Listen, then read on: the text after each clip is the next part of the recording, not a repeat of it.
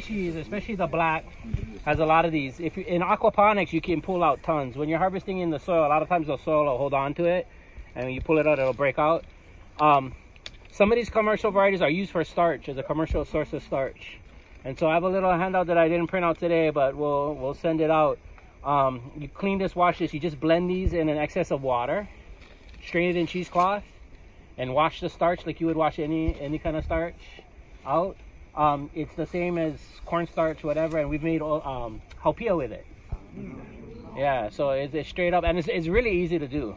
So definitely as a craft project, I don't know how much commercial the kind there is, but um, it's real. There's boatloads. If you chew on it, it's like glue.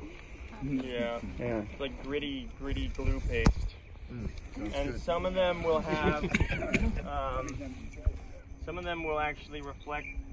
You can smell. You guys can pass this around, and, and the aromatics will go through into these actual starch roots. And so, yeah, feel free to pass these around. Cellulose paper